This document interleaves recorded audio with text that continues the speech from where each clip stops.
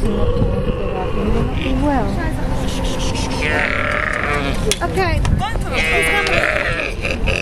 well. Okay.